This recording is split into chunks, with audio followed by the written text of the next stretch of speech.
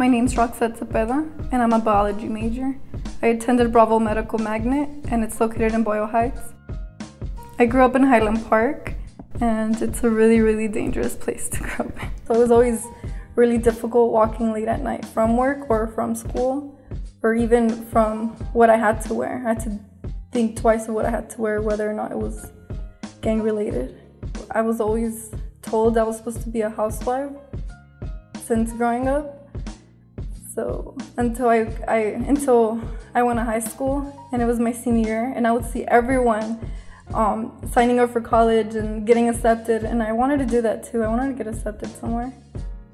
Well, my father always told me that um, women should not be educated. Therefore, I was only supposed to go to high school. Hmm, I applied behind my dad's back. Joe from EOP is the one who helped me apply. I was walking past the career center when Joe um, stopped me and he asked me what were my plans after high school. And I said I didn't have any plans, that I was gonna get married. And he said, What do you mean you're gonna get married? And I told him that my dad had to rearrange a wedding. And he he asked me if that's what I wanted, and I said no, that's not a, that's not what I wanted at all. And he gave me the option of applying for college.